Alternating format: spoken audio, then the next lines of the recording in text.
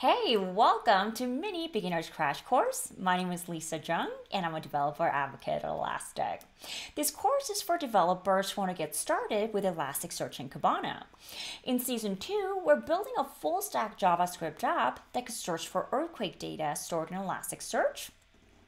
In the previous episode, we set up Elasticsearch for data transformation and data ingestion. We created the earthquake data pipeline for data transformation we also created an index called earthquakes with a desired mapping.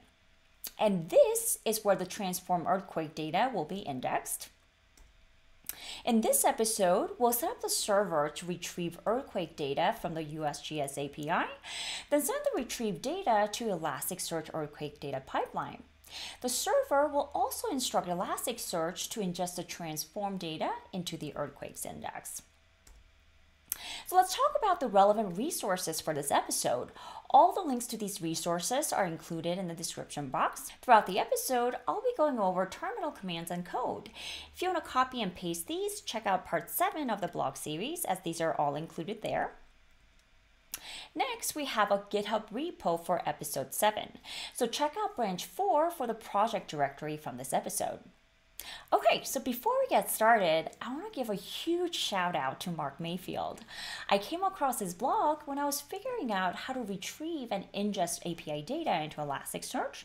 His blog was instrumental in helping me create episode 7, so thank you, Mark. Now, I've modified the code shared in Mark's blog to fit our use case. I've also broken down the code line by line for easier understanding. All right, let's set up our server to retrieve earthquake data from the USGS API. So pull up the earthquake app directory using your code editor. Then within the server directory, create a directory called data management. And within this directory, create a file called retrieve and ingest data.js. Now this file will instruct the server to execute three things. Upon receiving an HTTP request, retrieve earthquake data from the USGS API, then send the retrieved data to Elasticsearch Earthquake Data Pipeline for data transformation. Then instruct Elasticsearch to ingest the transform data into the earthquakes index. In the retrieve and ingest data.js, paste the following code, and this code can be found in blog part 7, step 1. So let's go over the code. Lines 1 through 3 require dependencies necessary to receive and send HTTP requests. In line 4, we require the Elasticsearch client we created in episode 4. In line 5, we require a dependency called log timestamp we installed in episode 2. It prepends timestamps to the messages displayed in the terminal via the console.log method. Now you'll see this dependency come into play when we retrieve data from the USGS API. In line 7, we create a constant called URL and set it equal to the URL of the API called all earthquake data from the past 30 days. Now we'll be retrieving data from this API. Next, we use lines 9 through 77 to define what our server should do when it receives an HTTP request to the forward slash earthquakes endpoint. In line 9, we define a route for forward slash earthquakes. When the server receives a HTTP request to this endpoint, it displays a message loading applications in the terminal. We use lines 13 through 77 to retrieve earthquake data from the USGS API, create an object for each earthquake, and send the objects to Elasticsearch Earthquake Data Pipeline for data transformation, and instruct Elasticsearch to ingest transform data into the earthquakes index. In line 13, we define a function called index data. Let's look at line 15. When this function is called, it prints the message retrieving data from the USGS API in the terminal. Using lines 17 through 21, we send a GET request to the USGS API in line 23, we display the message data retrieved in the terminal. In line 25, we create a variable called results. This variable is set equal to the retrieve earthquake data from the API. Now we cover the API data structure in part 5. As you could see, earthquakes.data.features gives you access to the features array. This array contains earthquake objects containing the information that we want. In line 27, we display the message indexing data in the terminal. Lines 29 through 55 runs through an array of earthquake objects. For each earthquake object in the array, it creates a JSON object that will be indexed later as documents. In lines 56 through 61, we use our instance of Elasticsearch client to send the retrieve API data to Elasticsearch for data transformation and data ingestion. In line 56, we use the client.index method to index the transform data. In line 57, we specify that the data should be indexed into the earthquakes index. In line 58, we give each earthquake document an ID identical to the ID of the earthquake object retrieved from the API. We do this to keep the earthquake ID from the USGS API and the document ID to stay consistent. In line 59, we set the body equal to earthquake object. We define lines 31 through 55. The body represents a document of one earthquake. In line 60, we instruct the Elasticsearch client to send the retrieved data to earthquake data pipeline. And this pipeline will transform the data in the manner we specified in episode 6. Then Elasticsearch will index the transformed data into the earthquakes index. In lines 65 through 67, we state that if there's still data left that has not been indexed, then keep calling the index data function.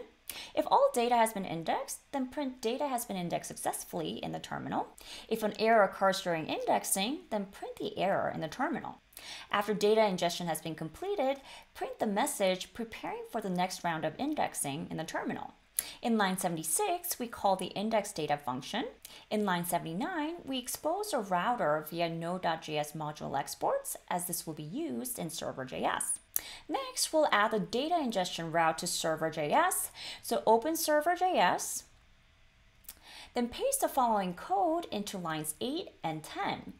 And this code can be found in blog part 7.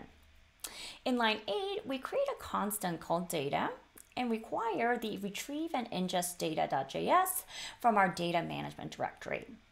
When the server receives an HTTP request from a URL path that starts with forward slash ingest data, the function we defined in retrieve and ingest data.js is executed. All right, so let's test this to see if this works. So using your terminal, cd into the Earthquake app directory, then execute npm start to start your server. Next, you'll open a new browser here and arrange the terminal and the browser side by side. In the address bar, paste this URL here, and this URL could be found in blog part 7. Now, when you click on enter, pay close attention to the terminal here.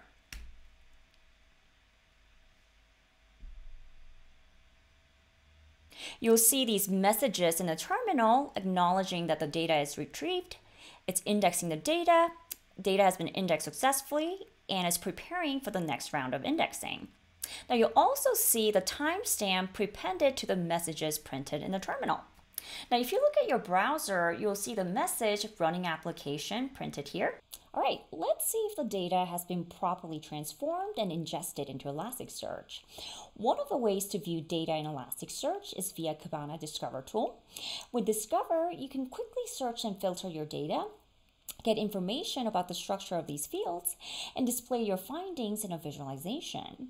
You could also customize and save your searches and place them on a dashboard as well. In order to use Discover, we need to specify where it can find the data we want to explore. And we do so by creating a data view. A data view allows you to specify the data source you want to explore so that Kibana could find this data. From the Kibana homepage, click on the Stack Management option. From the Stack Management page, click on the Data Views. Then click on the Create Data View button. And you'll see that the index earthquakes is listed as one of our data sources. Under the name section, type in earthquakes. Now, Discover also allows you to explore data in various time ranges. And since our earthquake data is in time series, we'll be able to use the time range feature of Discover. Now, since earthquake data has a timestamp field called add timestamp, Kibana will automatically update the timestamp field with the field @timestamp. Next, click on the create data view option. You'll see that a data view called earthquakes has been created. Next, click on the menu icon, then click on the Discover option. This will take you to the Kibana Discover tool. You'll see that the data view earthquakes has been already selected, and the message, no results match your search criteria, is also displayed on the screen. Now let's see why we're encountering this message. So take a look at the time range. Discover is currently being instructed to display data that has been collected within the last 15 minutes. And since our index does not contain such data, we encounter a message that no results match our search criteria. So let's adjust our timeline to last 30 days to view the results. Click on the calendar icon. There's a drop-down menu where you can select the time range in which you want to view the data. Select the last 30 days option You'll see that in the index earthquakes, there are 9,108 documents that have been indexed from the USGS API.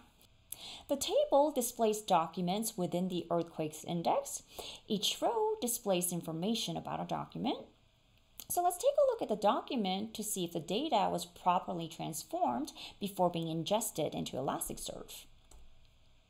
Now, when you click on the arrow, it'll show you the document content, and you'll see that the document contains the desired fields. It also has a timestamp format we have specified in episode 6. In this episode, we retrieved earthquake data from an API and sent the data to Elasticsearch for data transformation and data ingestion. And now that we have data in Elasticsearch, it's time to set up our app for search. In the next episode, we'll build a client with React so the users could specify the earthquake data that they're searching for. Thank you for watching, and I'll see you in the next episode.